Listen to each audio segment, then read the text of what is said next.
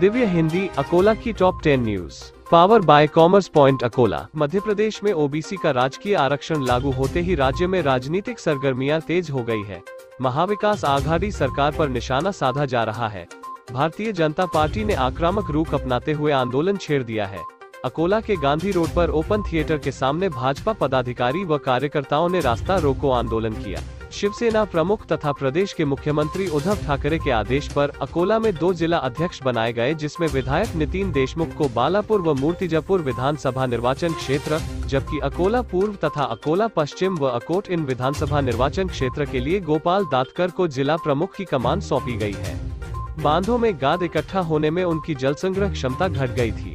इसलिए गाद निकालकर किसानों की कृषि भूमि को उपजाऊ बनाने जिला प्रशासन ने गाद मुक्त बाँध व गादयुक्त शिवार उपक्रम शुरू किया। उपक्रम अकोला ज़िले की सभी तहसीलों में जन सहयोग से चलाया जा रहा है, जिसके तहत 34 प्रकरणों से अब तक तीस हज़ार छह सौ सैंतीस घन मीटर गाद निकाला गया।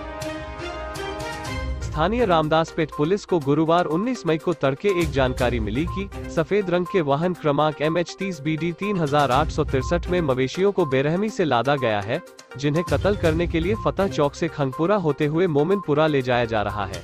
इस जानकारी के आधार पर पुलिस ने गौवंश तस्करों को पकड़कर गौवंशों की जान बचाए ज़िले में मानसून पूर्व मौसम में बदलाव का दौर जारी है। इसी कड़ी में गुरुवार 19 मई को दोपहर बाद मौसम में हुए परिवर्तन के बाद ज़िले की तेलहारा तहसील के ग्रामीण अंचलों में बेमौसम बारिश हुई। इस बीच चली तेज हवा के थपेड़ों के कारण मकानों की छतों में लगे टिन उखड़ गए। पपीते सहित केले के पेड़ धराशायी हुए।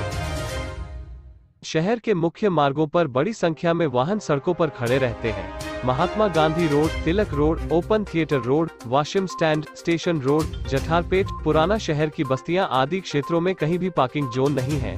जहाँ जहाँ पार्किंग की व्यवस्था है, उन क्षेत्रों में अतिक्रमण हो गया है। इसलिए पार्किंग जोन का निर्माण बहुत ज़रूरी है। हाल ही में महाराष्ट्र के उप मुख्यमंत्री श्री अजित पवार ने अकोला निवासी 10 वर्षीय सौम्य अभिनंदन गुप्ता को प्रशंसा पत्र देकर सम्मानित किया। उन्होंने सितार के उनके असाधारण कौशल और उनके समग्र प्रदर्शन के लिए उन्हें बधाई दी और कहा कि वह देश के लिए एक गौरव हैं जिन्होंने अपने समर्पण से विभिन्न राष्ट्रीय और अंतर्राष्ट्रीय पुरस्कार अर्जित किए हैं। जिला परिषद उपकर योजना 2022-23 के अंतर्गत जिला परिषद के कृषि विभाग के माध्यम से चलाई जा रही योजनाओं के अंतर्गत किसानों को 90 प्रतिशत अनुदान दिया जाता है। इनमें एच डी पाइप पाँच H electric motor pump battery operated power sprayer व 450 जीएसएम प्लास्टिक ताड़पत्री आदि योजनाओं का समावेश है। आरटीई के अंतर्गत निजी शालाओं में 25 प्रतिशत सीटें आरक्षित रखी गई है। इन सीटों के लिए शिक्षा विभाग की ओर से ऑनलाइन प्रवेश प्रक्रिया चलाई गई। ड्रॉ के तहत एक हज़ार चार सौ तिरपन छात्रों का प्रवेश निश्चित किया गया। अभी भी चार सौ सड़सठ सीटें खाली है, जिन पर प्रतीक्षा सूची में होने वाले छात्रों को स्थान दिया जाएगा। ज़िले में गौन खनिज ढुलाई में हो रही अनियमितता तथा अवैध ढुलाई पर प्रतिबंध के लिए पटवारी और मंडल अधिकारियों की तहसील स्तर पर उड़न दस्तों के रूप में तैनाती की गई है। इन्हें बुनियादी सुविधाएँ मिले इत्यादि मांगों को लेकर पटवारियों ने जिलाधिकारी कार्यालय के सामने एक दिवस धरना दिया। दिव्य हिंदी न्यूज़। शहर तथा ज़िले की सभी महत्वपूर्ण न्यूज़ एवं जानकारी से अपडेट रहने के लिए आज ही दिव्य हिंदी न्यूज़ ऐप को प्ले स्टोर या स्टोर से डाउनलोड करें।